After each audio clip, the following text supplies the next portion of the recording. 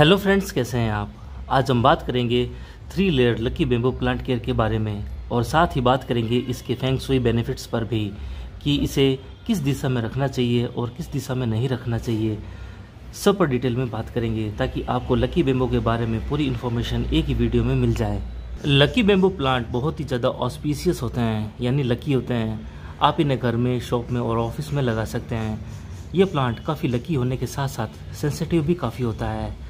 अगर आपने पानी चेंज करने में थोड़ी सी भी लेट कर दी तो ये अपनी लीफ को ब्राउन करनी स्टार्ट कर देगा।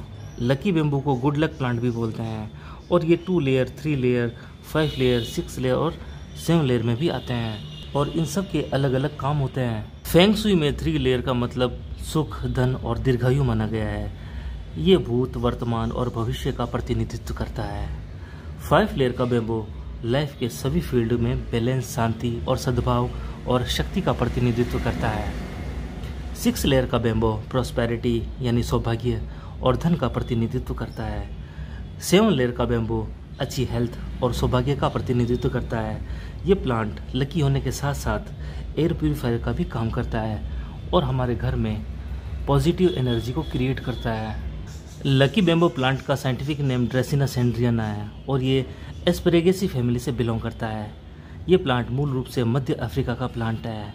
इंग्लिश में इसे लकी बेम्बू बोलते हैं। हिंदी में इसे भाग्यशाली बाँस का पौधा बोला जाता है। इसके अलावा इसे Sanders dracaena ribbon dracaena lucky बाँस, चीनी जल बाँस, दया की देवी का पौधा बेल्जियम सदाबार नामों से भी जाना जाता है। Lucky bamboo plant indoor plant होता है। इसे ठंडी जगह और ब्राइट लाइट बेहद पसंद है। इसे आप घर में ऐसी जगह रखें जहाँ पर ब्राइट लाइट आती हो। लकी बेम्बो काफ़ी सेंसिटिव प्लांट होता है। और ये प्लांट सफ़ाई माँगता है। लकी मेम्बो में आप डेली पानी चेंज करें। अगर आप डेली पानी चेंज नहीं कर सकते तो आप दो से तीन दिन में एक बार तो पानी ज़रूर चेंज करें। इसमें आर वाटर ही डालना है। जहाँ तक पॉसिबल हो, आप लकी बेम्बो में आर वाटर ही चेंज करें। अगर आपने दूसरा वाटर इसमें डाल दिया तो इसकी जितनी भी स्टिक्स हैं, इनके ऊपर नमक जम जाएगा और नमक फंगस को एक्टिव कर देगा। और फंगस पूरे प्लांट को डैमेज कर देगा। इसलिए इसमें आर वाटर ही आप यूज़ करें। लकी बेम्बू प्लांट में फंगस की थ्री स्टेज होती है। फ़र्स्ट स्टेज में क्या होता है कि स्टेम हल्की येलो दिखाई देती है। सेकेंड स्टेज में स्टेम पूरी येलो दिखाई देती है। और थर्ड स्टेज में पूरी स्टेम गल जाती है और पानी में बदबू आने लगती है। तो वो थर्ड स्टेज का फंगस होता है। फ़र्स्ट स्टेज तक हम बेम्बो प्लांट में फंगस को कंट्रोल कर सकते हैं। फंगिसाइड डालकर या फिर सिनेमोन पाउडर डालकर, सिनेमोन यानी दालचीनी का पाउडर।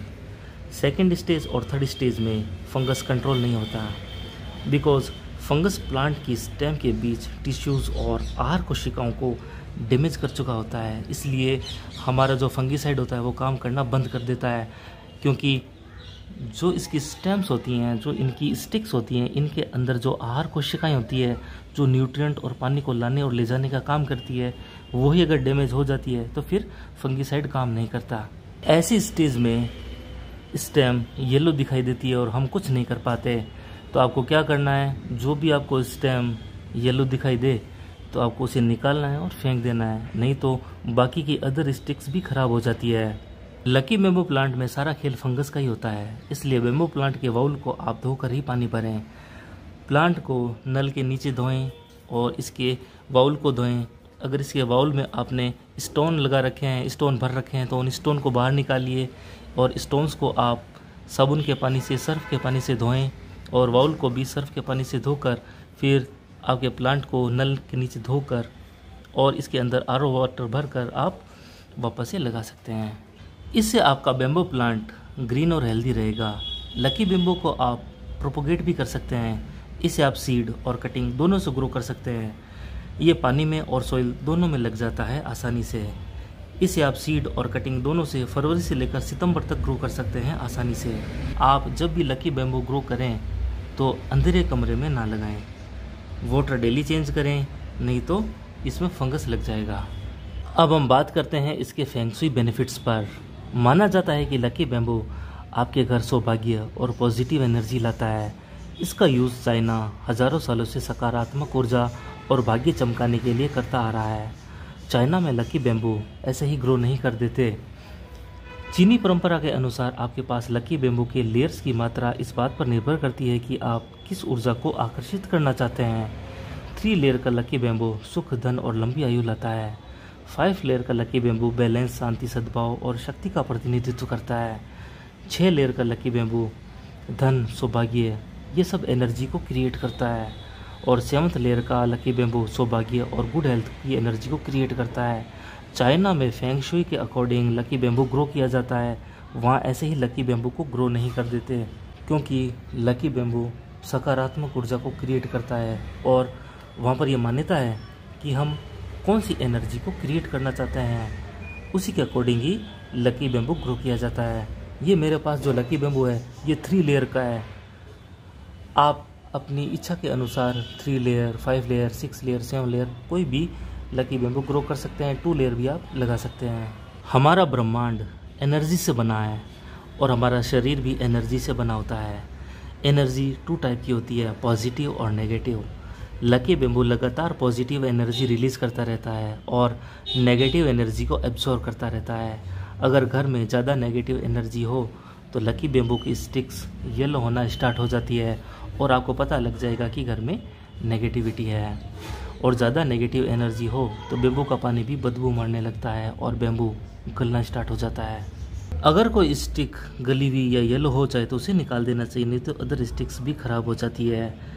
बेम्बो स्टिक्स को आप ईस्ट यानी पूर्व दिशा में रख सकते हैं। ईस्ट में रखने पर यह पूरे परिवार की हेल्थ को अच्छा रखता है। और अगर आप धन को अट्रैक्ट करना चाहते हैं तो इसके लिए आपको इसे दक्षिण पूर्व दिशा में रख सकते हैं। इसे उत्तर पूर्व या नॉर्थ में भी रखा जा सकता है। अगर आप इसे पश्चिम में रखेंगे तो ये बच्चों की पढ़ाई में बहुत इम्प्रूव करेगा, क्योंकि वहाँ पर रखने पर ये पॉजिटिव एनर्जी क्रिएट करेगा, जिससे बच्चों का मन पढ़ाई में लगेगा।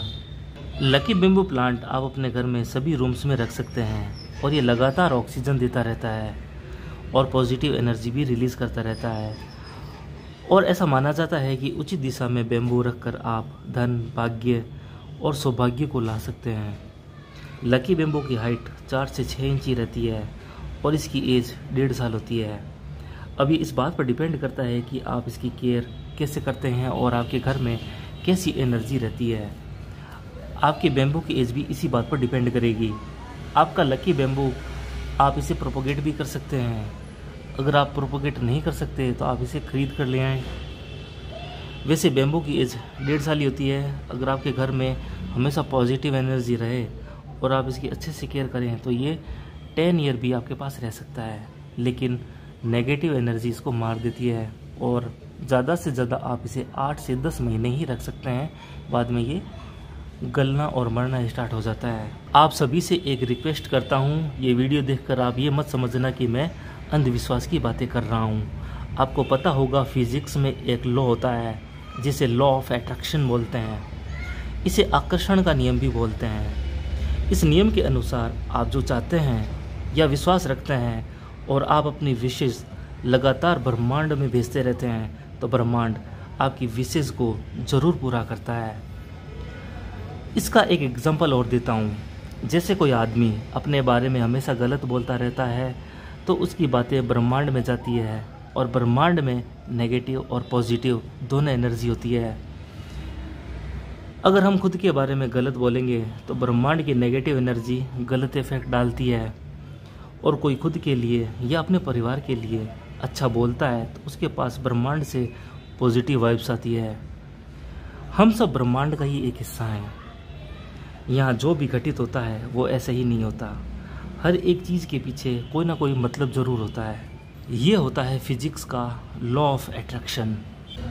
तो इस तरह से आप बेम्बू प्लांट की केयर भी कर सकते हैं और वास्तु या फेंगसुई के अनुसार इसे सही दिशा में रख कर अपने अकॉर्डिंग इससे एनर्जी को क्रिएट करवा सकते हैं। आई होप आपको ये वैल्यूबल इन्फॉर्मेशन काफ़ी अच्छी लगी होगी। थैंक यू फ्रेंड्स, फिर मिलेंगे किसी नई वीडियो के साथ। तब तक अपना बहुत अच्छे से ख्याल रखें। और अगर ये वीडियो आपको अच्छा लगा हो तो इसे ज़्यादा से ज़्यादा शेयर भी कीजिए।